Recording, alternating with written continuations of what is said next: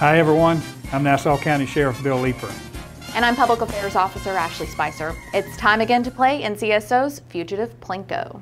This is a game where we choose at random which one of our most outstanding wanted fugitives we will highlight this week. And by doing so, you can help us find them so they can pay for their crimes.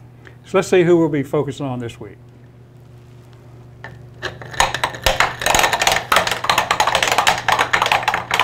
Looks like number six, time is up.